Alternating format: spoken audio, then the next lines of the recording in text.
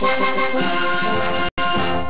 Los departamentos y el Ministerio de Hacienda gestionarán recursos que permitan solventar problemáticas en la salud de las regiones. En junio mm, distribuyen unos recursos, 200 mil millones de pesos, que son unos aportes que se tienen allí y que nos van a distribuir para ayudarnos a los departamentos a pagar el NOPOS. En su calidad de presidenta de la Federación Nacional de Departamentos, la gobernadora Dilian Francisca Toro le pidió al ministro de Salud, Alejandro Gaviria, estandarizar los medicamentos del NOPOS. Se van a hacer unas mesas técnicas para poder lograr estandarizar los precios de los medicamentos y así de esa manera nosotros en los departamentos cuando vamos a pagar el no POS no, no gastemos en exceso los recursos.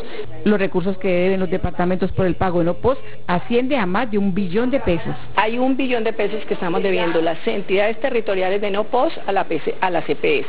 Y pues de verdad nosotros las entidades territoriales no tenemos cómo pagarlas. Para los próximos días se buscará una reunión entre el ministro de Hacienda, Mauricio Cárdenas, y los gobernadores del país, en la que se planteará que las entidades territoriales puedan disminuir los recursos del pago al régimen subsidiado.